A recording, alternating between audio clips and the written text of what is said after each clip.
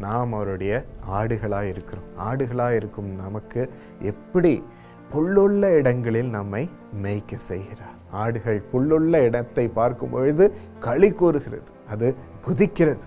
அப்பா இவ்வளோ ஒரு அருமையான நிலத்தில் நாம் மேய்க்க நம்முடைய மேய்ப்பர் கூட்டிகிட்டு வந்திருக்கிறார் என்று அது சந்தோஷப்படுகிறது. அந்த மாதிரி உங்களை துள்ளி குதிக்கும்படி செய்வார். அமர்ந்த தண்ணீர் அண்டையில் உங்களை கொண்டு போய் விட்டு உங்களை அதிலிருந்து குடிக்க செய்கிறார். இப்படி நம் வாழ்க்கைக்கு தேவையானதை குறையில்லாமல் நாம் பொல்லுள்ள இடங்களிலிருந்தும் அமர்ந்த தண்ணீர்கள் ஆண்டையும் நாம் பெற்றுக்கொள்ளும்படி ஆண்டவர் செய்கிறார்.